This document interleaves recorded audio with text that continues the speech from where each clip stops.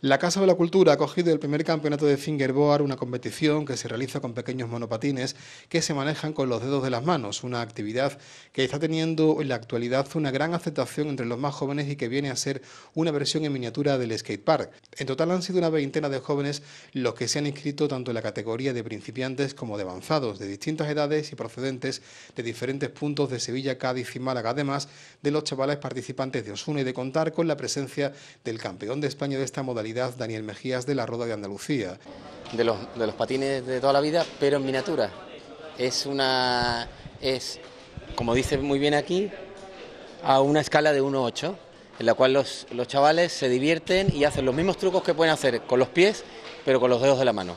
Para ello existen pistas eh, que se llaman finger parks o módulos eh, con rampas, con eh, planos, con barandillas y mm, esto hace que los chavales pues tengan una, diversión, eh, aparte de lo que son hoy en día las videoconsolas, y les entretiene mucho porque hacen sus propios sus propios eh, juegos entre ellos eh, participando uno contra el otro. El campeonato comenzaba con una exhibición libre para continuar con dos tipos de competición donde primaba la habilidad, la espectacularidad y la imaginación para sorprender al público y al jurado que fue el encargado de entregar los premios a los tres primeros clasificados en cada una de las competiciones, siendo el ganador de la categoría avanzados Daniel Mejías. Pues llevo practicando fingerboard desde hace entre 5 y 6 años.